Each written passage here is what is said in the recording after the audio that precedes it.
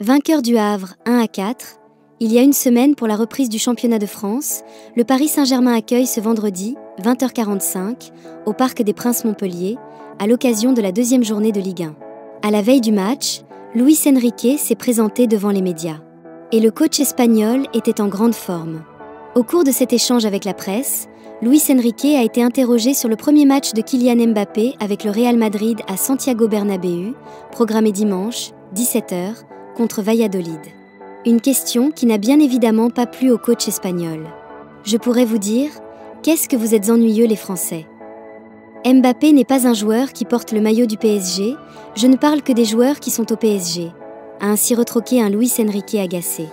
La semaine dernière déjà, Luis Enrique avait rembarré un journaliste espagnol qui l'interrogeait sur le nouveau numéro 9 de la Maison Blanche. Qu'ils sont ennuyeux ces Espagnols, mon Dieu. Mon Dieu, t'es encore là? Avait ainsi lancé l'ancien coach du Barça et d'ajouter Pfff, jusqu'à quand J'ai l'impression que tu vis ici. Tu as aimé les JO? Parfait. Je n'imaginais pas qu'on allait encore me poser une question sur Kylian Mbappé.